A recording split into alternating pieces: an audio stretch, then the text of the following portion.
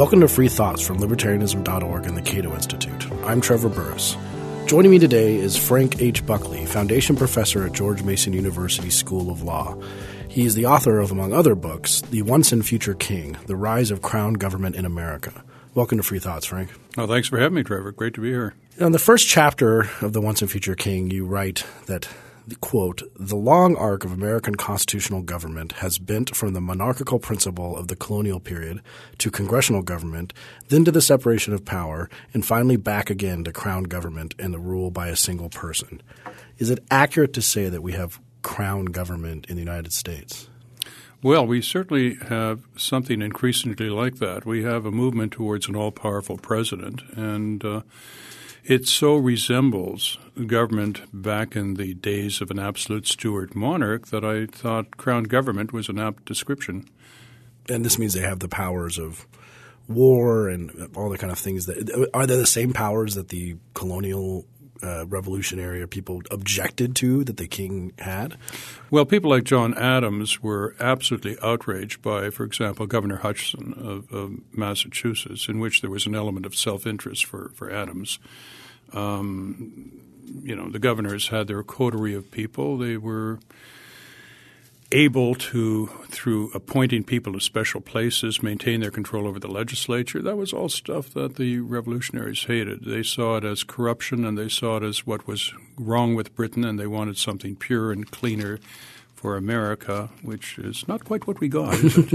well, interestingly, it's not just a book about America because you kind of are asking a question about how did – this come about what you call crown government in Britain and Canada, which are two yeah. two closely aligned or at least historically related systems. Right. Well, I was arbitraging the endless fascination Americans have in everything Canadian. Oh yes, absolutely. Uh, yeah. I mean, poutine is really quite the, the top of this, totally. the score.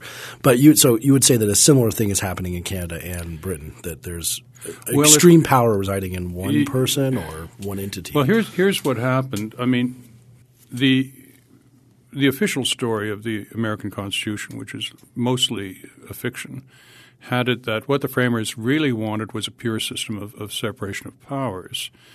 But to the extent they got that, and they had that for a long time, it, the separation of powers is inherently unstable. When two wrestlers walk into a ring, we expect one only to walk out, the other is going to be dragged out. So in Britain, uh, one started with something like a separation of powers – but then what happened after 1832 and the Great Reform Act was the House of Commons became all powerful. And when the Canadians looked at, at what was going on, they had a choice between America, which they knew intimately, and, and Britain. And, and they decided on, on the British form of government. And, and if you read the Canadian Constitution, it's very strange. You, I mean, it's written as if Canada is a complete monarchy where the Queen or the Governor General has all the power in the world – and there was one moment in, in the constitutional debates where somebody said, "Well, what's that all about?" And and, and you know, the, the, the, fellow who would be the prime minister said, "Well, oh, that's just the way we do things. It you know, it doesn't matter. I mean, it's going to be run by the prime minister and the House of Commons."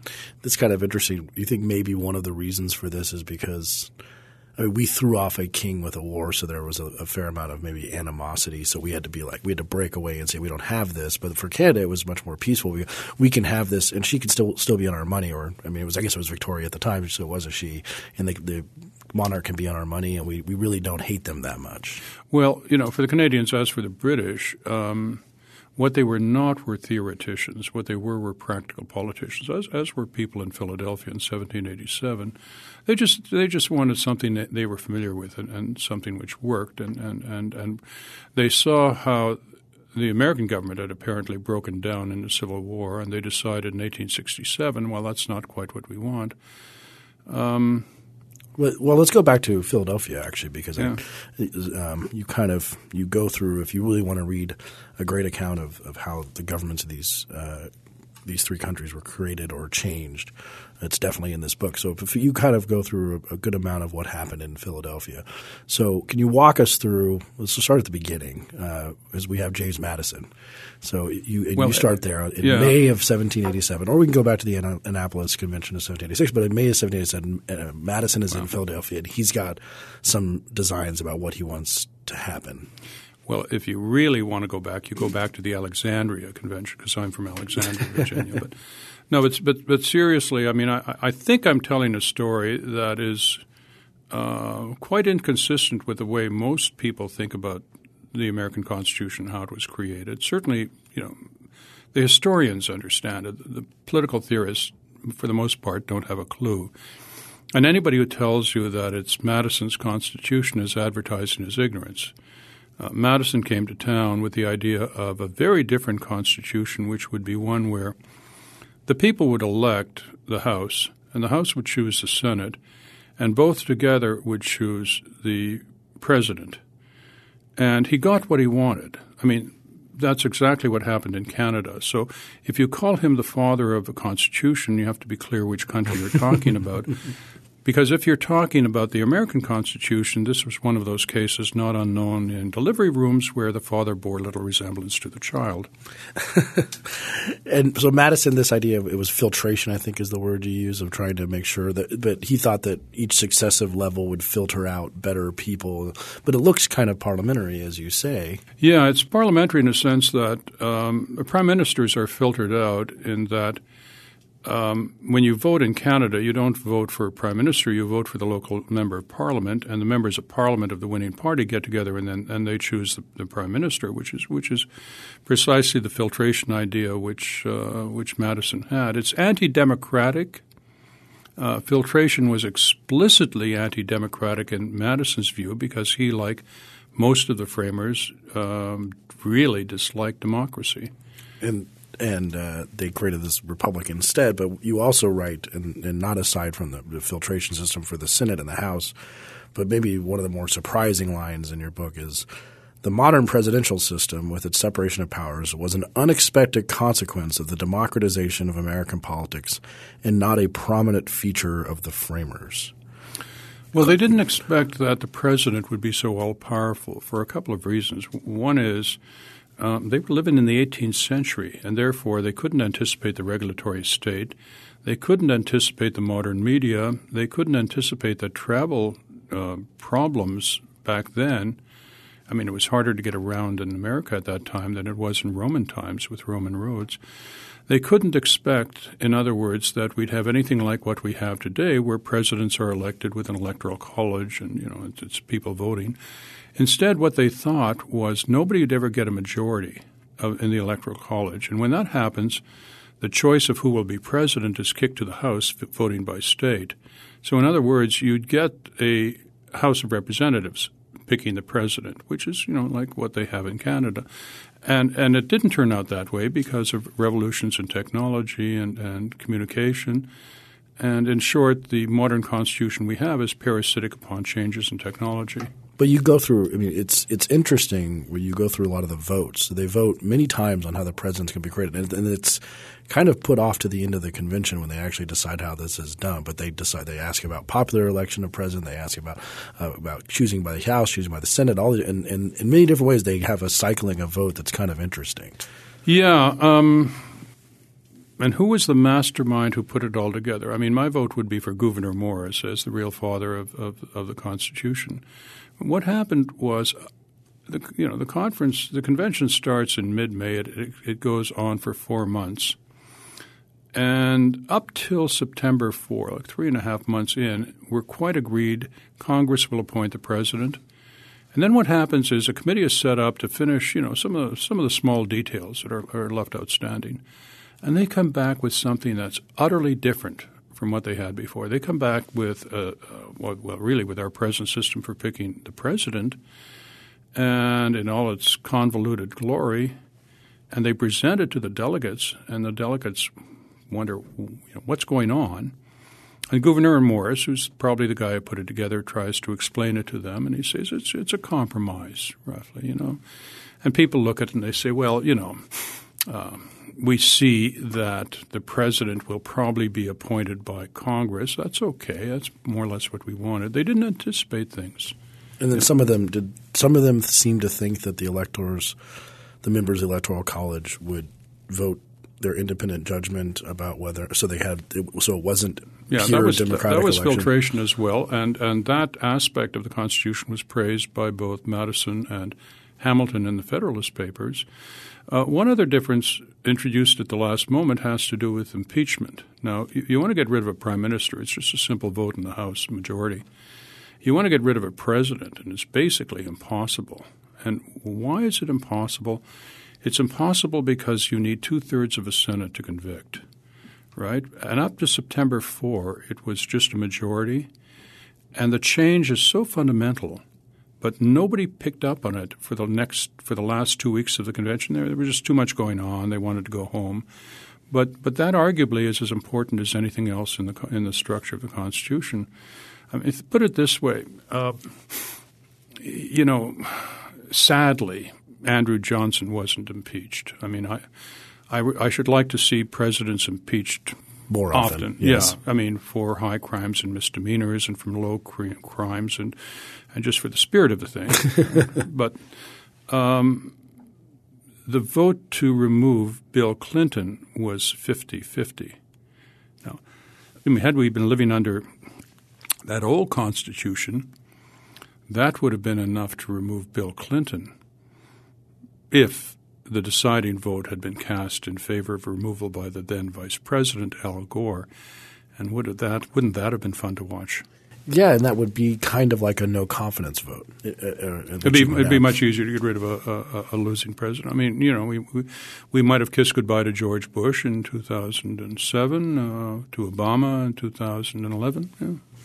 You think that Washington's presence there? A lot of historians would say that George Washington's presence in the convention uh, and everyone's understanding that he was going to be president made them a th- not think about the Article Two, the presidential powers, as much as they thought about other parts of it, and b not put enough protections in there for people who weren't George Washington and of the character of George Washington. Everybody thought so at the time. Washington was an absolutely commanding figure, really the, the indispensable American um, a person entirely absent from the constitutional histories of Britain and Canada. I mean, nobody, no, no, nobody then was as powerful as Washington. And even today, people ask, you know, what would Washington do? Nobody asks, what would Billy Pitt do? Billy Pitt. Oh, William Pitt from yeah, from Pitt, Pitt the younger. Uh, did, did, he go by Billy? Yeah, do you remember friends? there was there was a quarrel in uh, in The Simpsons as to whether the Duke of Wellington or or Pitt the younger was the best prime minister, and Homer slugs it out with somebody. well, that, that's a good segue to go to Britain. Uh, now, British system. We, we kind of alluded to it earlier, but I wanted to get a little bit more into. Yeah. It seems that uh, a lot of significant parliamentary changes, or at least with the prime minister and in relation to the king, occurred during the American Revolution and right after, and then and then further changes occurred in the 1830s. And you could talk a little about about how the system evolved in Britain. Well, um, it was a slow evolution, and it really began with Pitt the Younger wresting control of the finances away from from George III. Um, who conveniently went mad during this period. Um, but by 1832, things had changed utterly, and it became clear that the House of Lords didn't really count for much, and the king didn't really count for much. I mean, the last time the, the, the monarch exercised his or her veto was Queen Anne in 1711. So that's pretty much gone. And that's still true today? Well, yes. Although I, will tell you something, um, the Queen is ultimately the last defense against usurpation by a dictator. If for some reason Parliament decided to go out of business or give all power to a dictator, you still require the consent of the Queen or the monarch for that to happen. Uh, here, that role would be played by the Supreme Court, but but ultimately, the Queen has that residual power. It's not all ceremony. There's still something left of, of her political power in that respect, but only only in a case so extreme one could scarcely imagine it but the uh, so we had William Pitt, and then in the 1830s there was a huge problem with representation in pocket districts and boroughs. Old Sarum had a representative, and I don't think anyone lived there. I've been to Old Sarum. No oh. one, no one lives there. I can, I can guarantee it's yeah. been quite a while. Old Sarum is a hill near Salisbury. Um, But the constituencies in Britain at that point had been set up in the 16th century, and, and one of them had been washed to sea, for example. So nobody lived there, and about you know two people lived in, in, in Sarum. But they were still a serving but they, member but they still got to pick their, their their member of parliament. Of course, the choice of who would get into parliament at that point depended upon local uh, aristocrats or the king. Um, it was anything but democratic, but you know, nevertheless, Britain was a society where people could rise. It it, it was. Ne- Britain never practiced democracy as a theory, but always practiced it as an art. And, and it is in part the British inheritance in years of colonial self rule in Britain that, that helps to explain, I think, why the American Revolution was successful. And now we're at after the 1830s reforms. We have no House of I mean, the House of Lords is pretty much ceremony. Yeah. And we have a, a, a more powerful, you think, than originally intended Prime Minister and House of Commons? Well, nothing was intended. Uh, of course, true. Things just grew like topsy. Um, but but there was a remarkable switch, and uh, as I say, and, and in Britain and, and parliamentary countries, the House of Commons becomes all powerful, and the tendency in presidential countries is for the president to become all powerful. And one of the things I did in the book, since I'm at George Mason and do number crunching, was to compare how both of them fare on measures of liberty. And I took a, a popular, uh, generally accepted measure of how countries are free. And what I discovered was um, being presidential is really bad if you like liberty. And is that this is for Well, there are uh, co- nine. There are South about ni- American yeah, countries There, there are about 90 presidential countries and about 60 democratic parliamentary countries. And then there are a bunch of really horrible countries I, I didn't get into. But roughly, it's 2 billion people live with a presidential system, and 2 billion people live with what I call the Anglo Canadian model, which is begun in, in England and first exported to Canada and then throughout the world. And the Anglo Canadian model is vastly superior, as I say, in terms of protecting liberty. Now let's talk about some of the reasons why. Uh, you list you list many of them uh, with the characteristics of the president. So we have the separation of powers in America, which is an issue for aggrandizing power in the president. Uh, so we have presidential legislative power. Can you? And that's America. What can we talk a little bit about what that is? Well, I think the first thing you want to do is uh, take a look at what some of the anti presidentialists have to say here in the United States. They worry about things like regulatory reform or whatever. And you know, the, the point is there is a tendency towards concentration of power in a political leader under any system, whether it's Britain, Canada, or the United States. The regulatory state tends to produce a very, very powerful uh, political leader, prime minister or president. So does the modern media. The question then is which system is better able to constrain an overreaching political leader? And you know things like the you know the the, the, the, the fact that you have to meet the House of Commons and the possibility of a vote of no confidence constrain prime ministers, and that's absent here. So you know Obama can you know Obama can say, for example, uh, if they don't want to pass it, I've got a pen. But both sides, the Canadian, the British, and the American system all have this regulatory state to some degree. Yeah. Is it worse in America? Do you think? Only in one respect, and that is because America is richer than any place else. I mean, I, I I expect that they have, for example, an Estonian EPA. But I, I mean, but if somebody has a problem about uh, you know wetlands in Estonia, I, I, I, sort of see them picking up the phone and telephoning the Estonian EPA, and there are three people in the room, and one of them has a manual typewriter, and, and they don't have anything to you know they can't do anything. Whereas here you have a um, uh, you know uh, what, what, hundreds of thousands of EPA lawyers, you know, with the absolute desire to put you in jail. the, this is this is definitely true. Um, another part of the presidential power you discuss uh, is the non-enforceability powers. Another one of these crown government things that they they can now not enforce laws passed by Congress, and there's little that Congress can do about it, seemingly. Yeah, one of the most fascinating things that's happening right now is a case called Texas v. U.S., which is the attempt by uh, the state of Texas and other states to get uh, to force the president to adhere to the U.S., not Texan, but the U.S. Constitution. And and what Obama has done is Obama has uh, really through a, not a, an executive order but a memorandum through his uh, Homeland Security Secretary. Uh, he's created basically what really looks like legislation offering something like amnesty, work permits for about four to five million people. It so much looked like um, just pure legislation that uh, I found it really quite shocking. And I expected, in fact, that the Supreme Court would do something about it. Now, with the death of Scalia, one doesn't expect that to happen, in which case well, one would revert to the Fifth Circuit decision, which struck it down. But you know what? Uh, shortly after the first trial judgment in the case, Obama said, That's okay, I'm not going to deport them anyway. So the difference is there are no work permits, but nobody's going to be deported. So the, the thing is, how do you force a president to enforce the laws? You Would, know, I mean, can, you you can't issue a mandamus order saying Obama do this. I mean, it's it's been done. It's been done, for example, when courts have ordered mayors to desegregate and things like that. But at the level of you know the grand constitutional theory, it's hard to see the Supreme Court, even had Rod Scalia been there, to do that.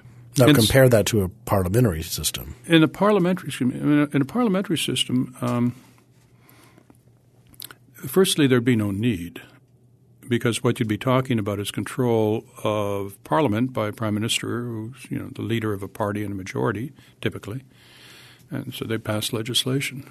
So now, he he would be able to he would be able to do what he'd be able to do what he wants, but you know if, if if if he mucks it up in some way, I mean, he still has to meet the House and, and, and run for election. And he has a there's a form of daily accountability which really doesn't exist here. I mean, a, a good example would be the Benghazi hearings, uh, which were very important here in Washington and probably not too many other places. But in Parliament, for example, the opposition has the ability to keep the prime minister's feet to the fire as long as they want.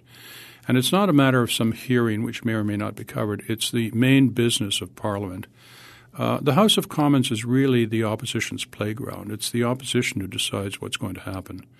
It's the opposition really which sets the rule. It's the opposition which says this is going to be our issue. And if if we have something that resonates with the public, we will stick with this for a full month if need be to bring the the, the, the party in power down. Uh, you know, Trey Gowdy's hearings were nothing like that but you know, it sounds like you're very much supporting. Uh, you are supporting a parliamentary system, but they. Well, I'm 229 years too late. but they have they have drawbacks. I mean, as you said, Britain and Canada have extremely powerful crown rule governments themselves. They're just better than the one in America, in your opinion. Yeah, I mean, there's there, there's a natural tendency towards uh, the restoration of a Stuart monarchy, if I can put it that way. There's a natural tendency. I mean, the Stuarts were moderns, and it was the opposition at the time, Sir Edward Coke, one of the most repulsive people in British imperial, uh, parliamentary history.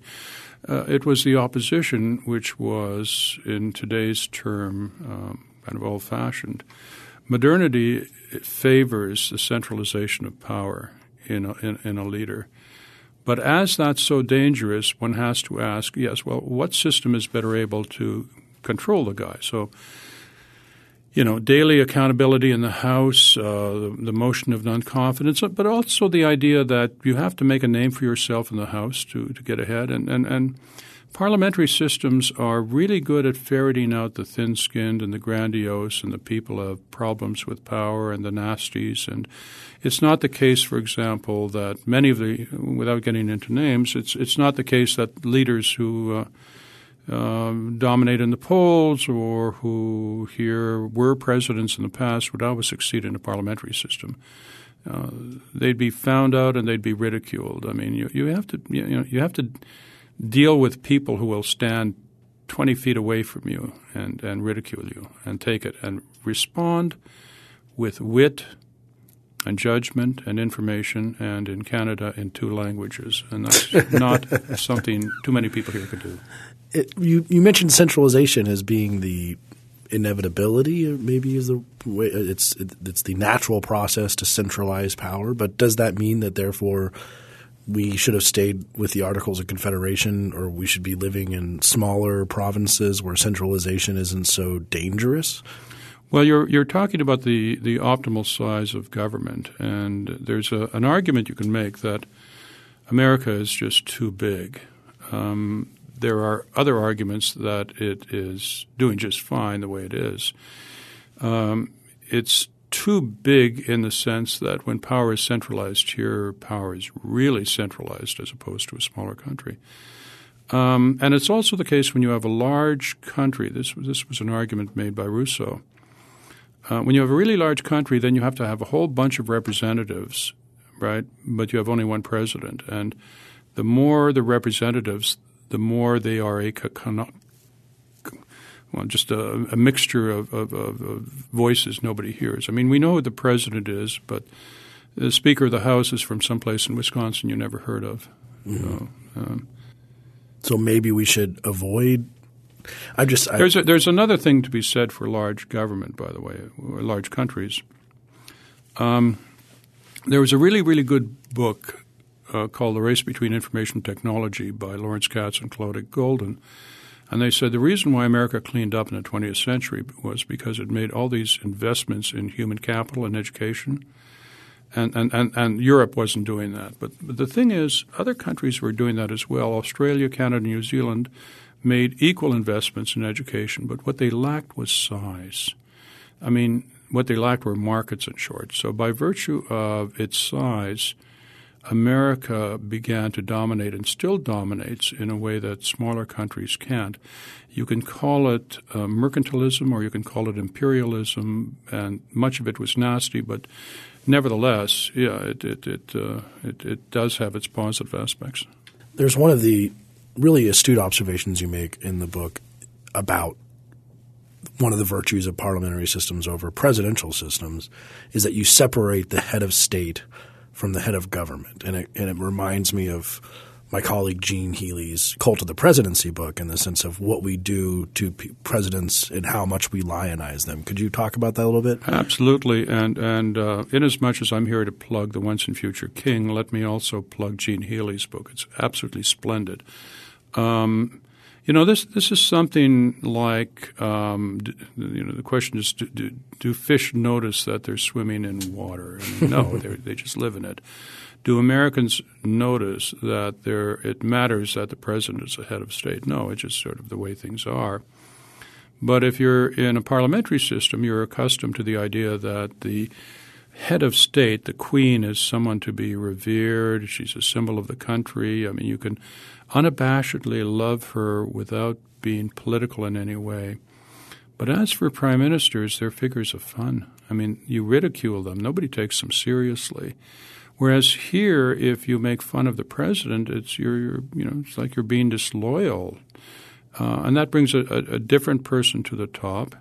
I, I think it also explains not only how one loves, but also how one might hate the president if he defines who you are in some respects as an American, if you're supposed to love the guy, if uh, you know a national tragedy brings a presidential healing speech and uh, tears to the eyes of um, you know, various commentators, um, that doesn't happen in a parliamentary system, and it's it's dangerous for liberty to clothe real live power with the aura of mystique of a monarchy. So it's best to take the head of the head of state and make them somewhat impotent, right. and then the head of government should just be a politician who we treat yeah. accordingly, which is true how they yeah, do. Uh, you know, a figure of fun.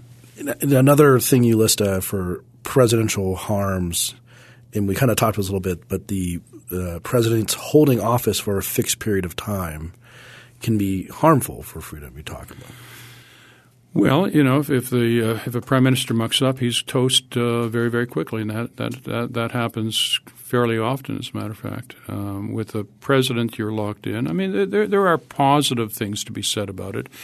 it is easier to make credible commitments if you're a president and you're there for a fixed period of time. I mean, Nixon employed that uh, power when dealing with the Soviets in the 70s. He, you know, just said, you know, just uh, remember I'm around for a while. And, and uh, I speculate that uh, Bobby Lee's incursion into Pennsylvania was dictated by the fact that he'd have to face this this really adamant president for another full year, and uh, he had to do something desperate to uh, to change the odds. But overall, you think it harms the freedom? Well, you're, you're you're stuck with the guy, and and during that period, he's essentially all powerful, and he's not removable by impeachment. It just for the reasons can't happen. Yeah. Can't happen. And then the other one, which which might resonate with our listeners today, uh, that you discuss is the presidential system's unique propensity to deadlock and how deadlock is not good for freedom.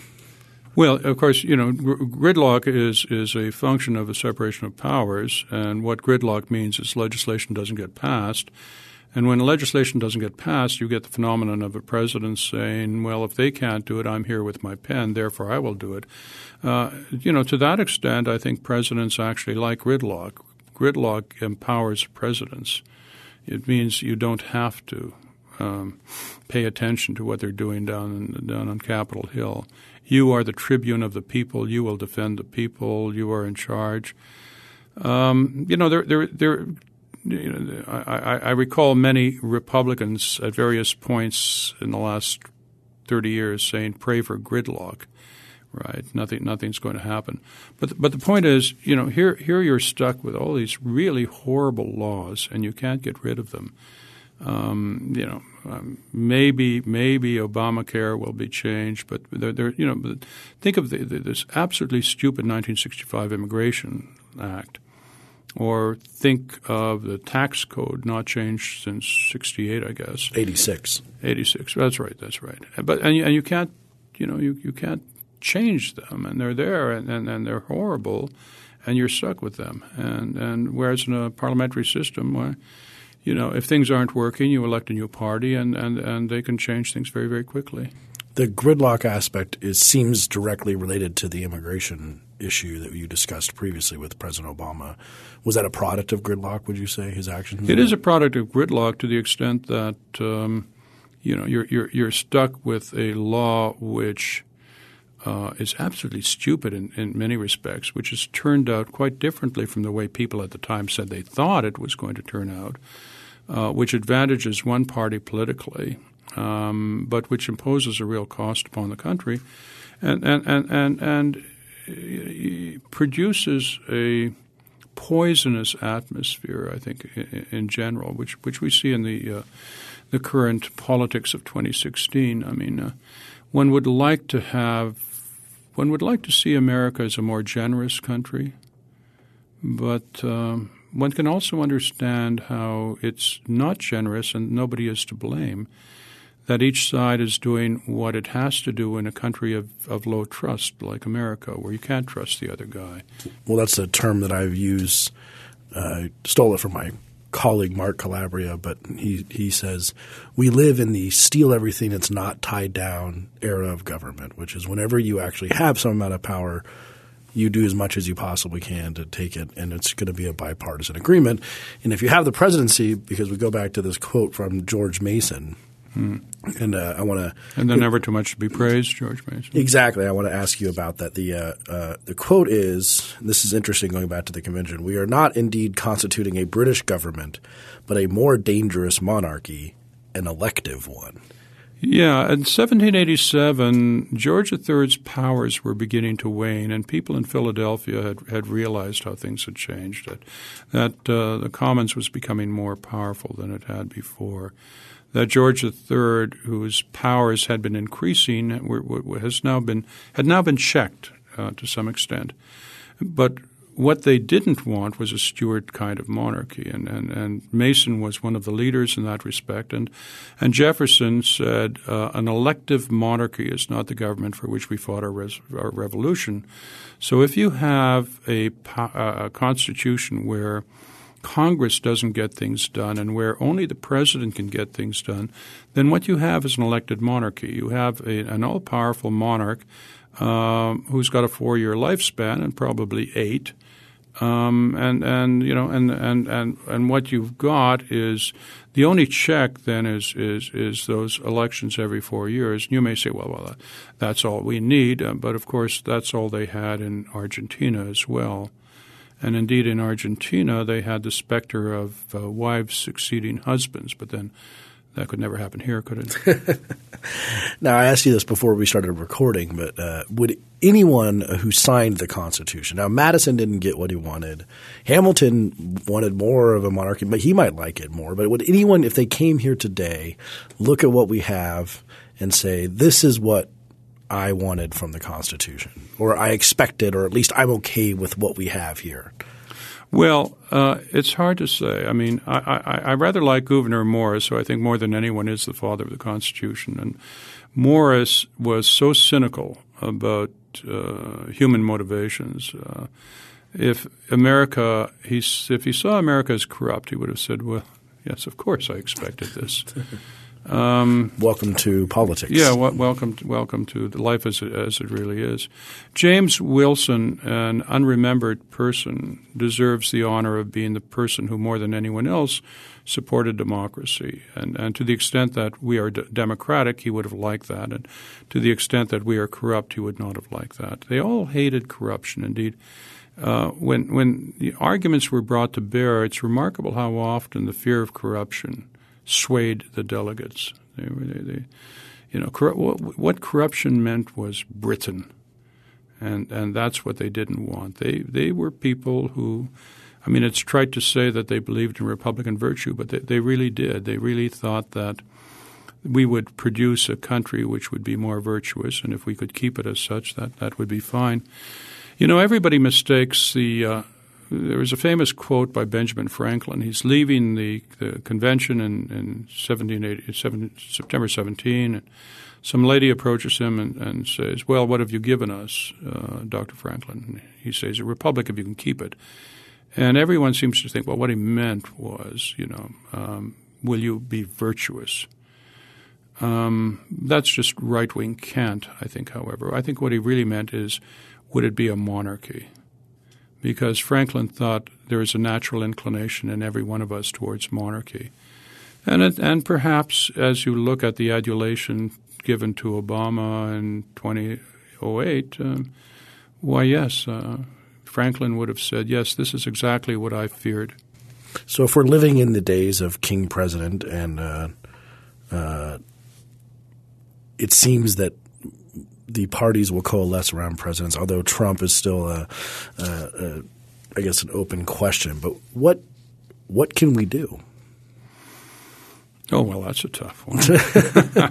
I don't think that's. Are you fair. just here to do? That, are you just fair question? Are you just here sakes. to doomsay, or are you yeah, to tell us what right. to do, Frank? Well, you know, nobody, nobody wants one to write a book saying things are peachy keen. You know, um, true, but you do have some suggestions. I do, I do have book. some suggestions. I don't know how much uh, how well they would work. Um, you know, the, I suggested, for example, uh, referenda, con- con- congressional referenda. I mean, if if right now it's it's the president dealing with you know 535 people on Capitol Hill, that's an unequal contest because it's one voice against a cacophony of other voices. But um, but if you had a national referendum on something like uh, the, you know, the public debt, then Congress could say, "Ah, but we have the backing of the people on this one, Mr. President. You, you, you know, you better back down." Um, that would require a constitutional amendment. I, I don't. I don't. I don't. I don't know why it couldn't be done by way of legislation. I mean, the referendum wouldn't be binding, but it would have a moral suasion. And it, this is all about moral suasion.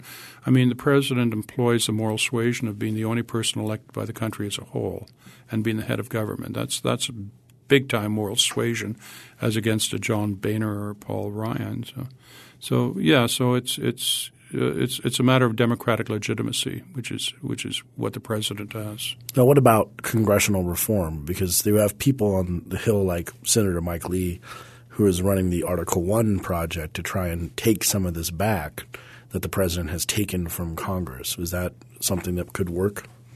I don't know if it would. I, I, I see the modern presidency as, as almost the inevitable consequence of, of what's going on. And let me explain. The, the, sometimes it's suggested that you know there is a way back, and uh, let me lay it out. You know, we've been ruled, it's true, by a power-hungry president who wants to rule as a, as a monarch. But what we'll do is we'll elect our guy, and then he'll rule modestly with Congress and that's sort of Act One. Uh, already, I'm you know I'm making some assumptions here, right? Then Act Two comes when the Democrats, the par- party of untrammeled presidential power, when the Democrats see how moderately the Republicans have ruled when they had all three branches, and the Democrats will be. Um, will be so impressed with Republican moderation that when they get their turn, they then will rule as Republicans do. And do you see a flaw in that argument? I see a few, yes, yes. Yeah, okay. well, it, it, this is called being a patsy. right? Yes. You know, I'm going to be nice and then you're going to be nice. It's called being a patsy. Mm-hmm. So that's the tendency in which both parties will tend, I think, to elect very, very powerful presidents. And, and, and ultimately, that's a threat to liberty. It's also a problem with corruption as well. But but but you, you know there there are only I said there were 90 presidential countries. Okay. Only three of them got top marks from Freedom House on liberty. Do you know what three they are? Um, America's one. America's one. Do you mean top marks in the top twenty, or? Well, no. Sort of. You know, it's it's a top category of one. President America. Um, well, Germany has a de facto president, don't yeah, they? Germany, no, Germany's parliamentary. But isn't there someone called the president of there Germany? There is, yeah. But the thing about parliamentary systems is, if you sadly are not monarchies, then you'll have a figurehead president, which is what they do in a lot of countries. I don't think I can get the other two. Well, the other one, you know, one, one is France, but the thing about France is France has a semi-presidential system where Congress, roughly, the legislature picks the cabinet. So and the other one is Uruguay, which is so nice a country you'd almost think they were Anglophone. Well, they did just legalize drugs or, or marijuana, at least, I guess. So uh, yeah, I'm so. not on top of that Uruguayan well, they're, they're, as I remember, their current president is a former prisoner of, of, the past government, so he's got an interesting job. So, are we are we uh, this might be the same answer, but optimistic in terms of because we have we. I hate to to have to bring up the T word, the Trump word. I mentioned him earlier, and you alluded to him earlier. But since he has sucked all the air out of Washington D.C., but we're here talking about presidential power and presidential figures and who gets elected president in versus kind of people who get elected in parliaments, part of politicians versus reality show stars are we seeing sort of the apotheosis of the American presidential mistake that happened, uh, at least in terms of what their expectations were in the form of Donald Trump? Well, it's certainly an extension of every trend I've described. Um, I don't know what would happen. I will say this for Trump he has tapped on to issues that everybody in Washington had pretty ignored. much ignored. Yes, and uh, and full marks for that. I uh, you know I, I, I don't know the fellow, but I know other people who know him rather well and who say he is you know on balance not a crazy in any way. It's it's a funny time. You, see, it's it's a time when official Washington and all the people who think they matter in the the, the, the intellectual conservative intellectual world when they're ignored, and that must be a psychic wound. But there's one more thing I fancy, and it's this: it's that, um, like Muhammad Ali, like the John Wayne, like the Beach Boys, Trump is someone who could only be an American. And I think many Americans recognize that. He could not be a Canadian. I mean, he could not be British. Uh, Muhammad Ali could not be from Africa. He could only be American. And, uh, and for the conservative intellectuals who absolutely detest Trump, I think there's a certain element of a psychic wound of a of the rage of Caliban that sees his face in the mirror.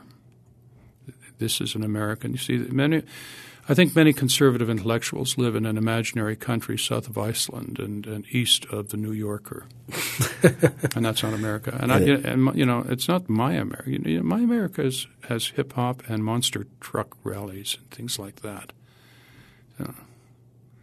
um, to the extent that conservative elites are unhappy, yeah, I like that. So that makes you. Uh, this is on the de- on the weight of the question. Uh, things going to get worse before they get better, regardless of Trump. You know, the, the, the guy who had the best comment about all of this is Jim Webb, who's absolutely as nuts as anybody out there. Um, but Webb said, you know, with Trump it could either be really good or really bad, and with Hillary it would be more of the same, and I'm not going to vote for Hillary. But looking past this election, it doesn't seem there's anything that's going to turn the basic tide that you've described in the Once and Future King. There's and we've mentioned some things, but no, right now there's not a serious discussion of reform or national referenda. So we will continue to give more power to the president. It seems to me into the future. Well, ask yourself this question. I mean, think back to 2008 and, and, and Obama, and, and, that you know maybe that was a one-off. But before things change, you need a realization by the American people that uh, there's something rather dangerous about this accumulation of power in one person. Alternatively, you can foresee an America in which people like rock star presidents. And the question for you is which America do you foresee for eight, 16 years down the road? Thank you for listening. Free Thoughts is produced by Evan Banks and Mark McDaniel. To learn more, find us on the web at www.libertarianism.org.